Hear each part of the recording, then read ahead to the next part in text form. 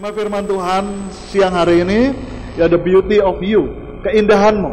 Nah, saudara, persoalan dasar yang dihadapi manusia sejak dahulu sampai sekarang sebenarnya sama. Ya, manusia selalu tidak puas dengan apa yang ada, walaupun dia termanifestasinya dengan cara yang berbeda sesuai dengan zaman di setiap era manusia itu ada atau manusia itu hidup. Tapi pada dasarnya sama yaitu manusia selalu tidak puas dengan apa yang ada.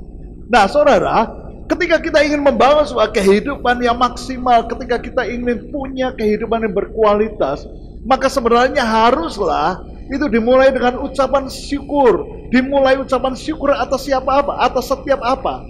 Dimulai mengucap syukurlah atas setiap diri, setiap kita.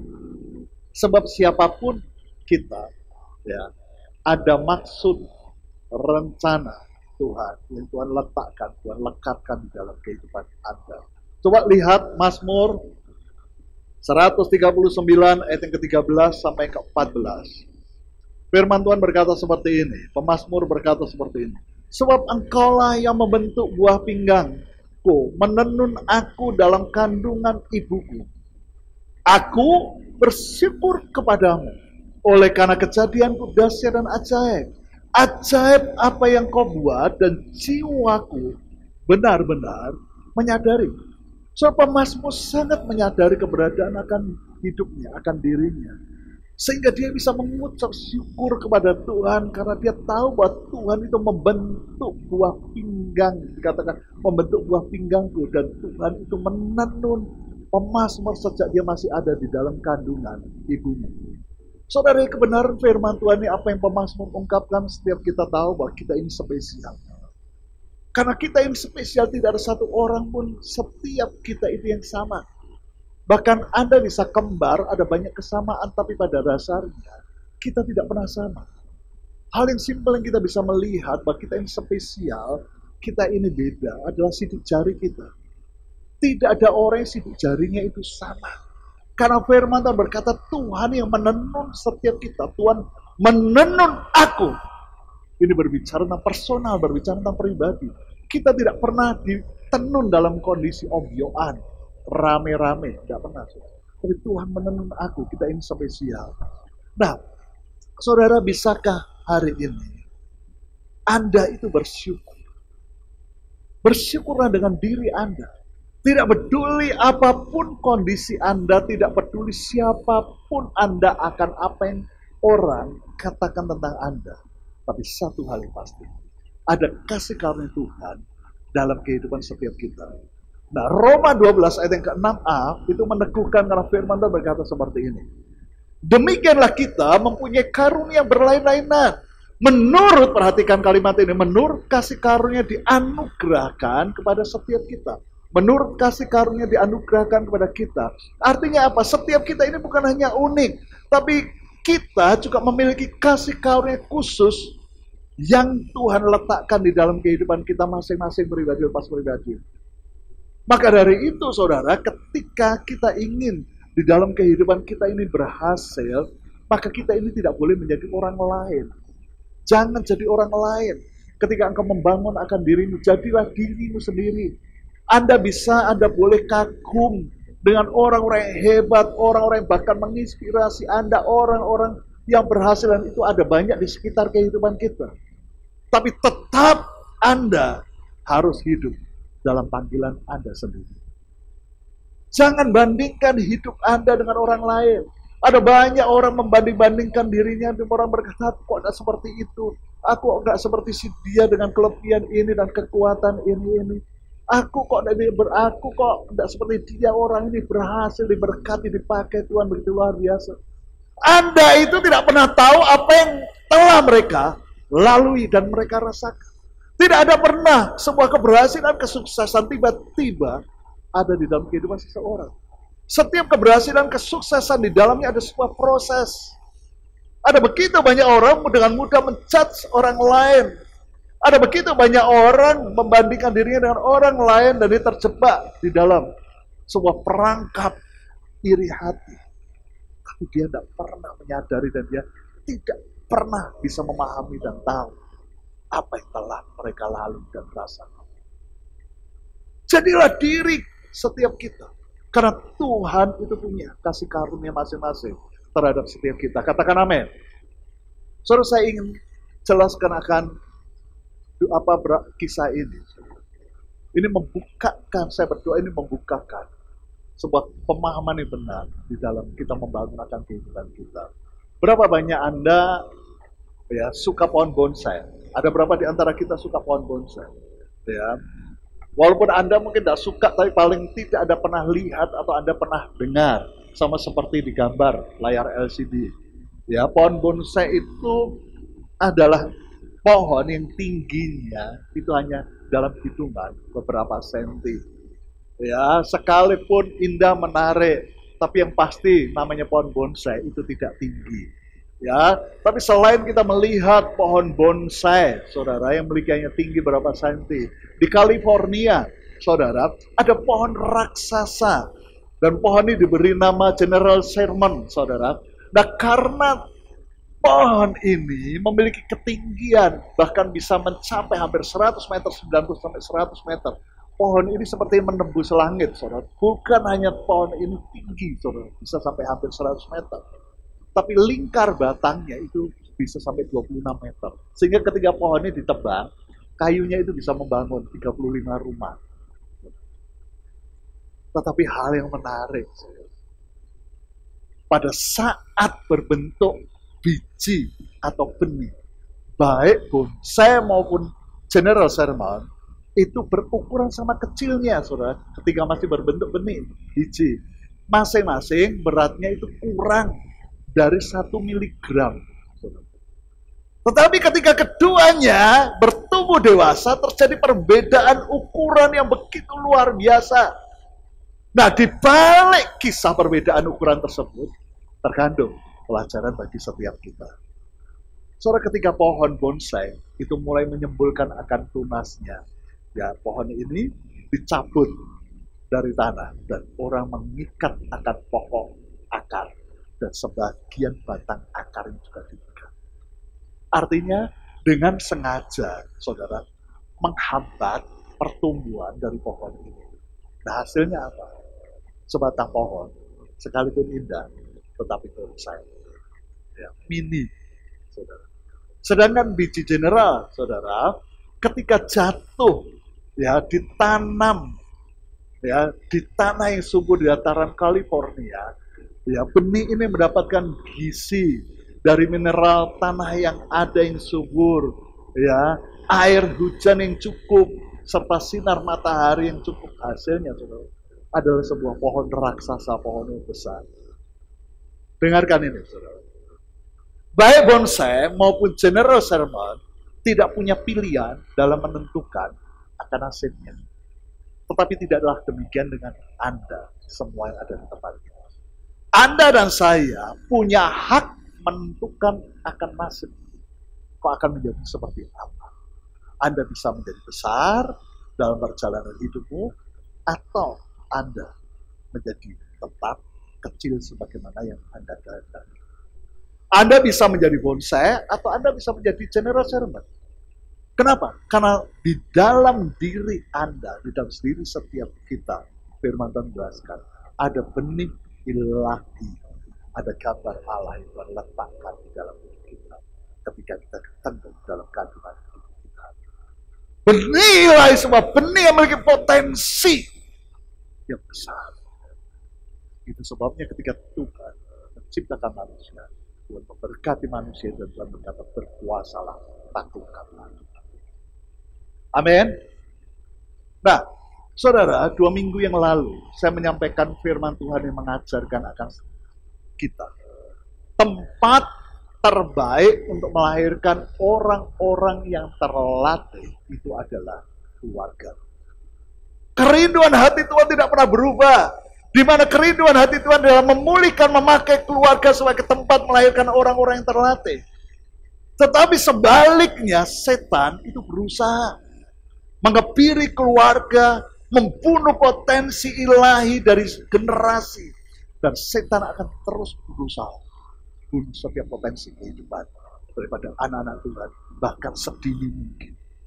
Kita melihat sejak zaman dalam kita mencatat, sejak zaman Musa, ketika bangsa pilihan Israel mereka ada di Mesir. Firman Tuhan menjelaskan, bayi laki-laki orang Yahudi itu dibunuh dibuang ke sungai. Di zaman Yesus, firman Tuhan mengisahkan, menjelaskan, anak di bawah dua tahun diperintahkan oleh Herodes untuk dibunuh. Yang menjadi pertanyaan buat setiap kita. Kondisi apa hari ini? Kondisi apa yang dapat menyebabkan seseorang tidak dapat bertumbuh atau berkembang dengan maksimal? Salah satunya, perjalanan kehidupan real. Kita mencatat atau hari menjelaskan. Salah satu yang memberi peranan besar itu adalah kesalahan serta kehancuran generasi sebelumnya. Nah, kita mencatat, mengisahkan akan begitu banyak hal tersebut, saudara. Nah, hari ini kita akan lihat kisah tiga pribadi yang mewakili untuk menunjukkan akan akibat serta bagaimana respon tepat yang harus kita ambil seharusnya. Ya, yang pertama kita akan lihat, kita belajar dari seorang yang bernama Mephibosheth, di mana Alkitab mencatat akan kisah kehidupan Mephibosheth. Seorang Mephibosheth ini adalah anak Yonatan. Mephibosheth ini adalah cucu dari Saul, raja pertama daripada Israel. Nah, Saul ini kalau kita melihat Alkitab mencatat kehidupan Saul, Saul ini adalah seorang yang bukan hanya menghancurkan akan hidupnya. Saul ini adalah seorang yang menghancurkan hidupnya, dia menghancurkan akan keluarganya, bahkan dia menghancurkan akan bangsanya. Dengan kesimpulan kita bisa ambil, semakin tinggi posisi seseorang, dampak kehidupannya akan semakin luas. Seringkali berapa orang dengan mudah berkata, Tuhan pakai aku, Tuhan berkati aku, angkat aku, tinggikan aku. Tetapi apakah kita menyadari? Seberapa besar, seberapa intens kita ini bangun akan kehidupan kita. Coba kita lihat 2 Samuel 4 ayat yang keempat. 2 Samuel 4 ayat yang keempat, firman Tuhan berkata seperti ini.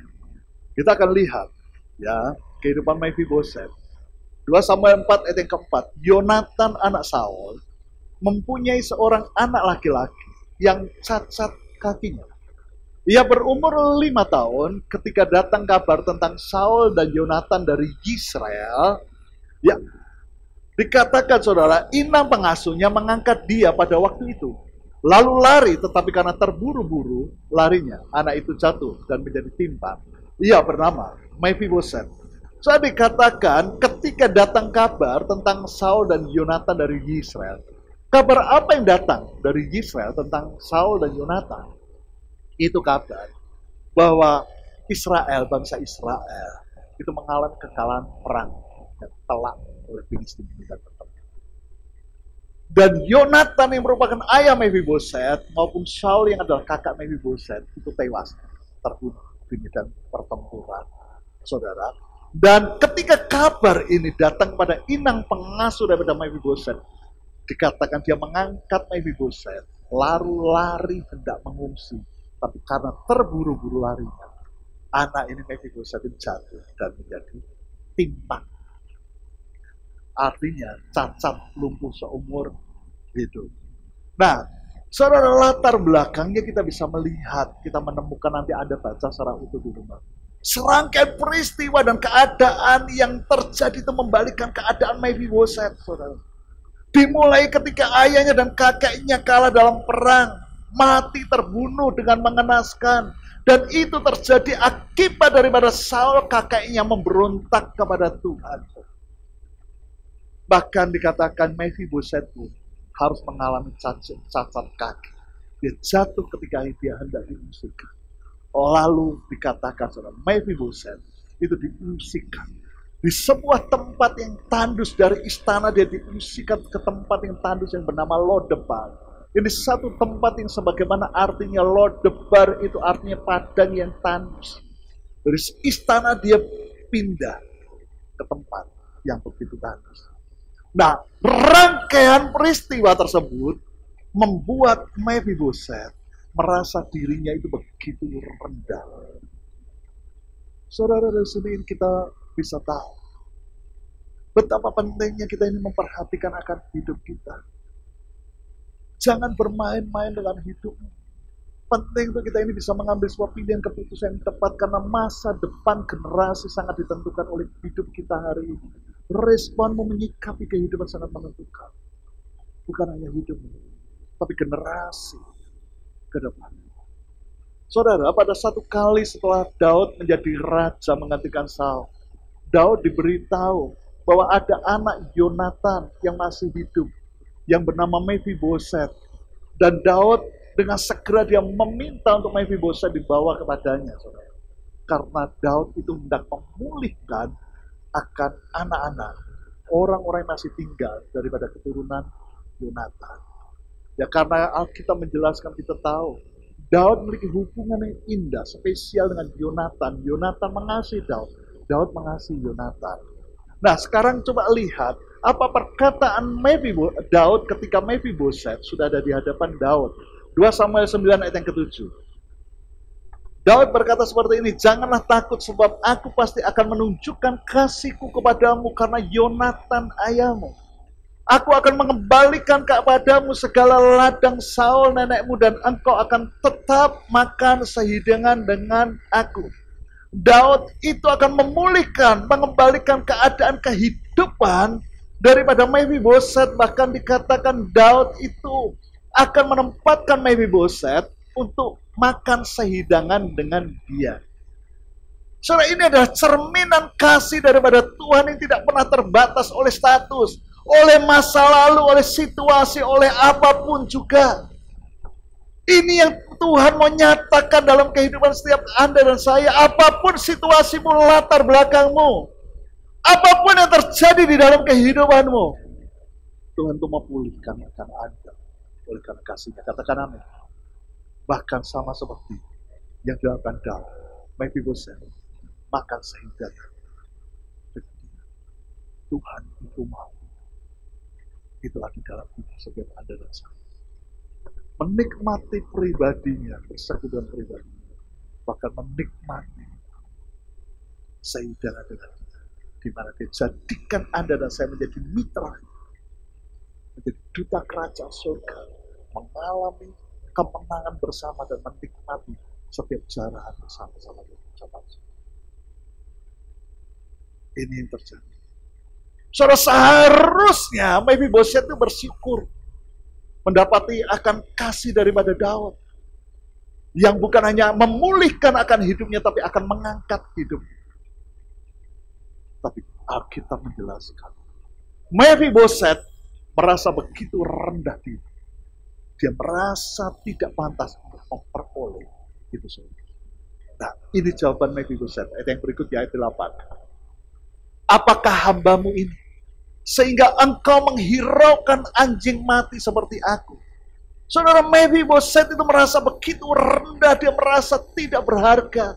Hingga harga dirinya dia sendiri yang samakan dengan anjing. Bahkan bukan hanya anjing, tapi anjing mati. Daud itu sudah berusaha memulihkan akan hidupnya, bahkan mengajaknya untuk makan semeja dengan namun tetap saja Mephibosheth tidak bisa keluar dari perasaan rendah dirinya yang telah memperangkapnya sedemikian rupa sehingga dia membuang kesempatan berharga untuk dipulihkan dan dilayakkan menjalani sebagai kehidupan ke depan. Saudara, kalau kita melihat nanti Anda baca secara utuh sampai pada akhirnya Mephibosheth itu tidak mendapatkan apa-apa. Hal yang tragis. Kalau hari ini ada banyak orang mendengar kasih. Ada banyak orang diberitahu Yesus mengasihimu. Yesus mati bagi engkau karena Yesus mengasihimu. Yesus mati untuk engkau dipulihkan. Tapi berapa banyak orang hari ini merasa tidak layak, aku tidak. Hidup terlalu kelam, masa lalu terlalu kurang, hidup terlalu hancur. Mengapa? Karena memperangkap hidup. Saudara, Yesus mengasihi. apa pun masalah. Hari ini Tuhan beri ada pendengar Yesus mengasihi. Setiap kita punya masa lalu dalam perjalanan kita. Masa lalu tidak selalu tidak in, apa tidak mudah. Satu dan yang lainnya sering kali kita memiliki sebuah pengalaman yang berbeda. Tetapi Yesus berkata, bukankah aku mati di bersama. Itu sebabnya dia berkata, sudah selesai. Dari ini kita bisa tahu, untuk dapat bertumbuh dengan maksimal selain dibutuhkan tempat yang tepat, juga dibutuhkan respon yang benar. Hari mungkin setiap kita karena takdir kita ada di tempat yang. Tapi hari dibutuhkan respon yang tepat. Karena Tuhan mengasihi ada dan ada dengar. Yesus mengasihi dan hari ini diberi respon yang tepat. Jadikan hidupmu dan hidupnya Anda akan bangkit menjadi tempat yang tepat.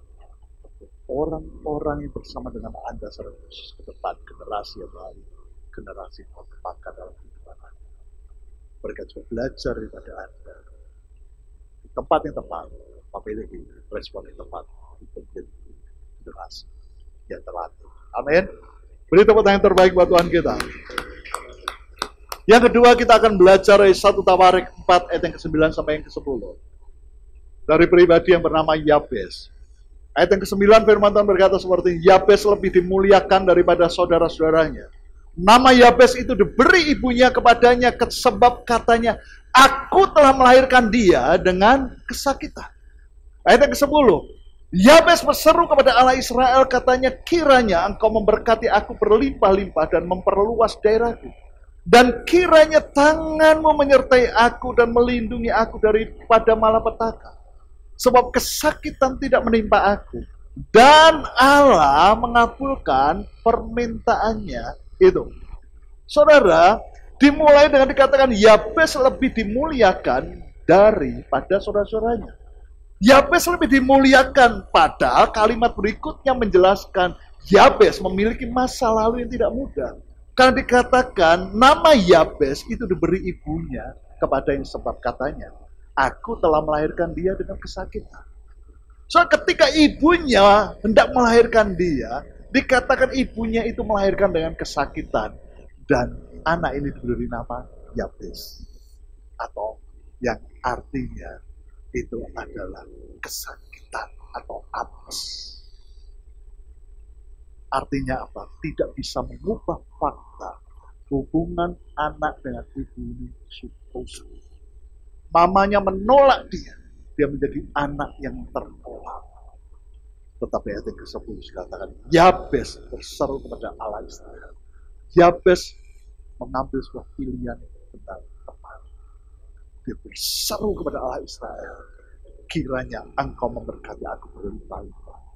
Datang kepada Tuhan yang adalah pemberi kehidupan. Dia berseru kiranya engkau memberkati aku berlimpah memperluas daerahku dan kiranya tanganmu menyertai aku dan melindungi aku daripada malapetaka sehingga kesakitan tidak menimpa aku. Perhatikan dan Allah mengabulkan permintaan. Tuhan tidak akan pernah menolak setiap permintaan untuk hidup kita. Itu semakin hari semakin tidak berkualitas karena diciptakan kita dan rancangan Tuhan yang indah dan besar melekat kehidupan kita. Yabes itu mengambil sebuah keputusan pilihan untuk dia berseru pada Saudara penolakan itu akan menyebabkan hancurnya citra diri seseorang. Dan citra diri itu akan mempengaruhi bagaimana seseorang membawa dirinya. Dan bukan hanya mempengaruhi citra diri bagaimana seseorang membawa dirinya. Tetapi itu akan mempengaruhi bagaimana seseorang berhubungan dan membangun hubungan dengan orang lain. Saudara, kita tidak akan pernah sukses. Sukses itu tidak akan pernah dibangun seorang kita. Sukses itu karena ada orang-orang yang tepat yang ada di lingkaran hidup kita. Karena kita membuka pintu yang tepat bagi orang lain tepat dalam Selalu sukses itu karena kita ini bisa membangun hubungan dengan orang lain dan Tuhan dengan tepat dan berkualitas. Amin. Tetapi hal yang luar biasa, Yabes itu dia berseru, dia beriman. Dia menghadirkan Tuhan dalam hidupnya dan Alkitab berkata hidupnya itu berubah. Karena Tuhan mengabulkan permintaan. Hari ini saudara kalau ada kesakitan dalam diri Anda. Ada kesakitan dalam hidupmu. Jangan menjadi orang yang hari ini sekedar menyalahkan masa lalu. Atau ada menyalahkan orang lain. Hari ini yang harus kita lakukan. Ubah nasib. Bangkitkan imanmu untuk mengubah masa lalu. Untuk mengubah masa depan. Alkitab menjelaskan untuk kita ini harus membangun iman kita. Benar iman itu tidak akan pernah mengubah masa lalu. Tapi iman akan mengubah masa depan. Itu sebabnya kenapa penting sekali untuk kita ini bangkit, bangun imanmu, melangkah dari iman kepada iman. Karena iman itu akan mengubah masa depanmu. Masa lalu tidak akan pernah bisa diubah. Tapi masa depan itu penting. Karena itu yang akan kita ada di sana. Yabes mengambil pilihan. Saudara, hari ini doa saya. Biar setiap kita hari ini ketika engkau berteriak berseru ada kesakitan dalam bangkitkan akan iman. Anda harus bangkit. Ketika Anda bangkit, Anda membangkitkan imanmu. Maka kebangkitan itu akan ada di dalam dirimu. Kebangkitan akan ada dalam hidupmu. Kenapa? Karena Yesus sudah bangkit. Maka Anda itu dapat menghadirkan kuasa kebangkitan Yesus dalam hidupmu imanmu bangkit, maka engkau akan melihat kuasa kebangkitan Yesus hadir dalam hidupmu dan bahkan melihat area apa hidupmu yang akan mengalami kesakitan, kematian. Kita akan kaget. Amin. Beri tepuk tangan yang terbaik buat Tuhan kita. Yang ketiga, saudara yang terakhir, kita lihat kejadian 35 ayat yang ke-16 sampai ke-19. Judul perikopnya adalah kelahiran Benyamin. Rahel mati. Dikatakan seperti ini, sesudah itu berangkatlah mereka dari Betel. Mereka ini siapa? Ya, ini adalah Yakub bersama dengan istri-istrinya, anak-anaknya, dan seluruh apa budak-budaknya, ya, seluruh hamba-hambanya dan seluruh kekayaannya berupa lembu, kambing, domba dan yang lainnya. Ya. Nah, ketika mereka tidak berapa jauh lagi dari Efrata, dikatakan bersalinlah Rahel Rahel ini salah satu istri daripada Yakob. Dan bersalinnya itu sangat sukar. Sedang ia sangat sukar bersalin, berkatalah bidan kepadanya, jangan takut.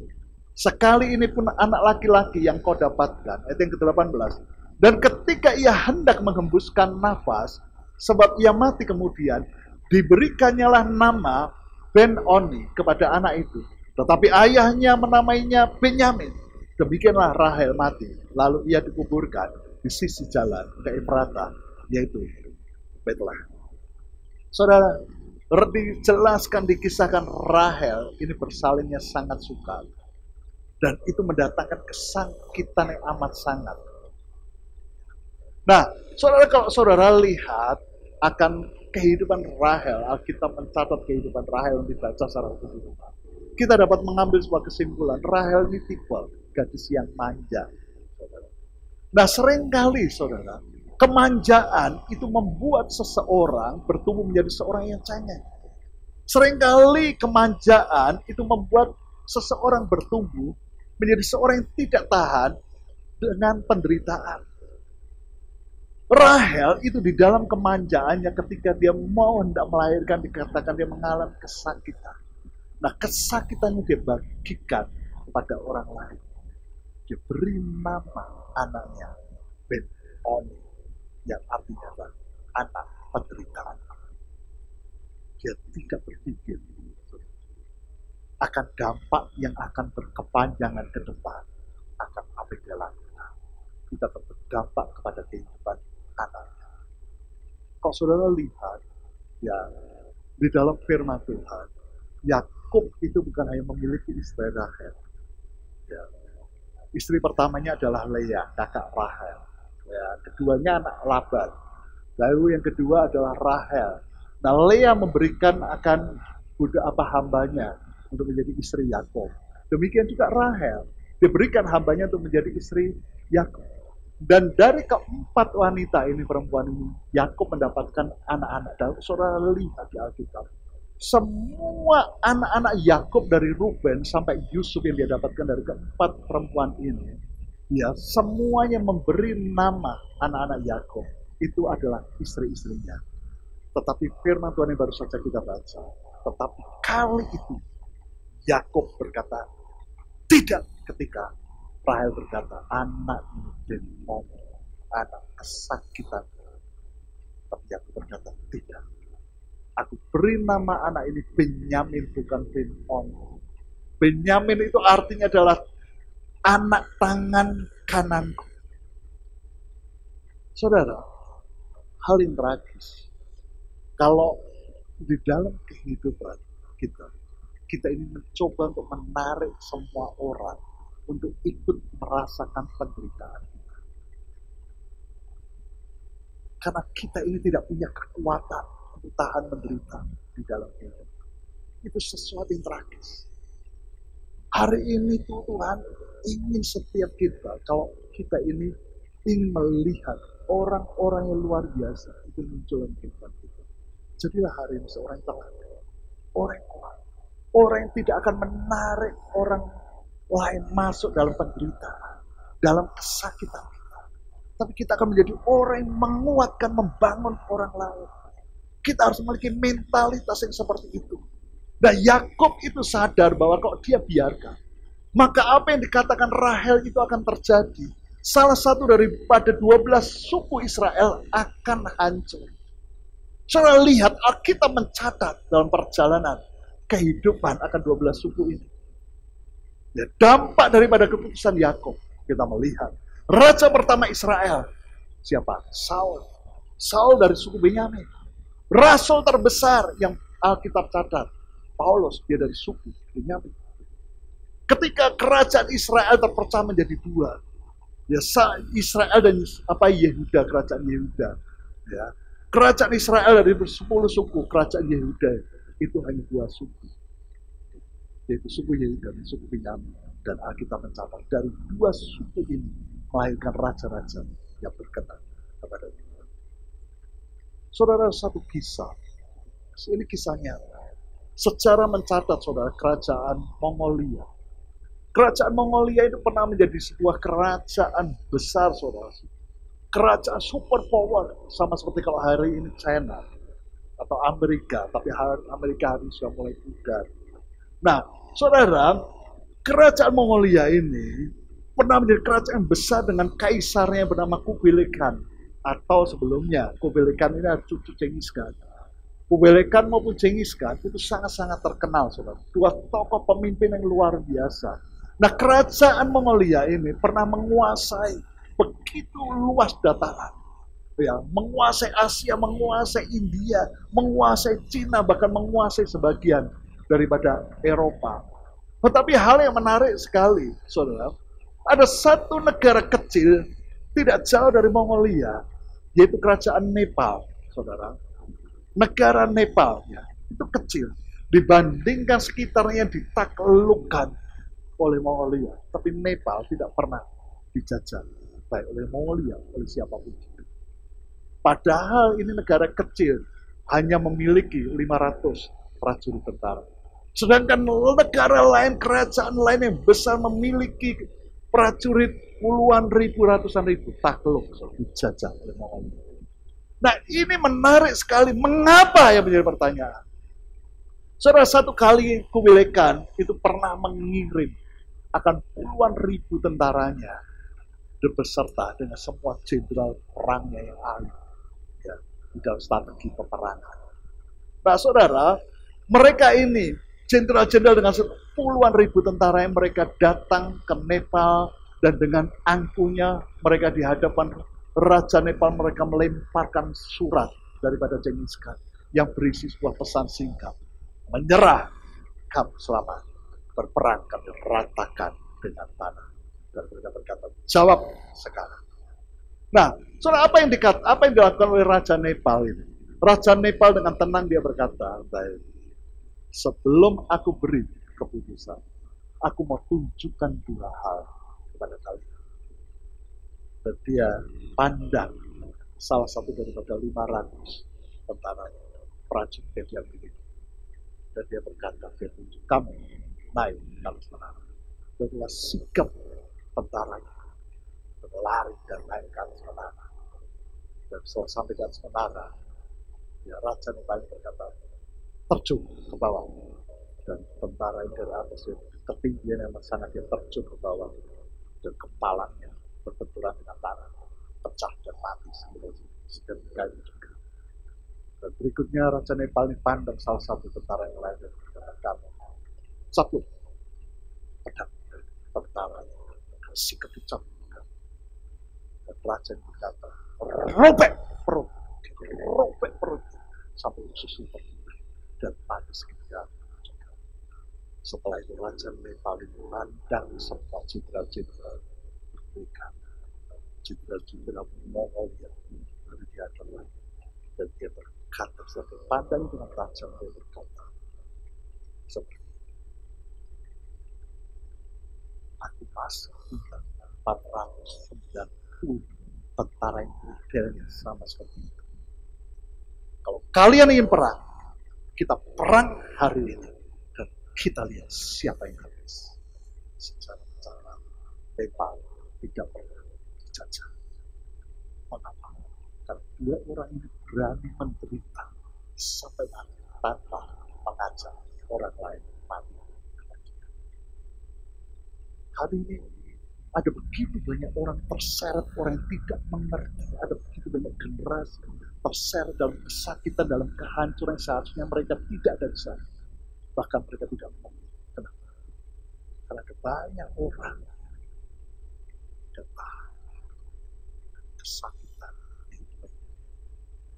coba menarik begitu banyak orang masuk kesakitan dan hari ini kalau saya berbicara pada gerejanya pada setiap kita kita dipanggil dengan sebuah identitas anak Tuhan di mana otoritas Tuhan taruh dan berkuasa dan taklukkan ada sebuah otoritas menjadi tenang kalau kita menjadi seorang anak yang memiliki mentalitas tenang. Kenapa? Karena dalam hidup kami Tuhan letakkan sebuah panggilan Anda menjadi seorang yang bukan itu pulihkan, tapi Anda hidupmu itu menjadi sebuah kesaksian tempat yang tepat untuk orang mengalami kasih Allah tempat kita itu tempat tepat di kehidupan untuk orang belajar mengambil sebuah respon yang positif sehingga mengambil kita bisa melihat melalui itu kita muncul generasi-generasi yang terlatih. Amin. Saudara, jadilah orang percaya berani bertahan dalam penderitaan. Untuk apa? Demi menopang rencana Tuhan tergenap melalui hidup kita dalam hidup kita dan melalui hidup kita. Jangan menjadi seorang yang justru mencoba menarik orang, orang lain masuk dalam penderitaan. Setiap kita itu akan mengalami yang namanya sebuah proses demi proses. Kesakitan demi kesakitan, proses sesuatu yang wajar di dalam kehidupan setiap kita. Karena ketika kita menjadi, ingin menjadi seorang yang berhasil, seorang yang diangkat tinggi, proses tidak akan pernah bisa menjadi sesuatu hal yang kita tidak. Tetapi mentalitas, kekuatan dalam ada dalam kita seseorang terbuka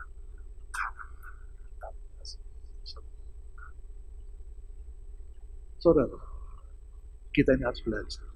Hidup sebagai seorang percaya senantiasa. Libatkan Tuhan. Minta petunjuk Tuhan dalam segala sesuatu karena kita tahu karena hidup tidak mudah, tapi karena Tuhan mengasihi. Dia berikan roh Allah dalam.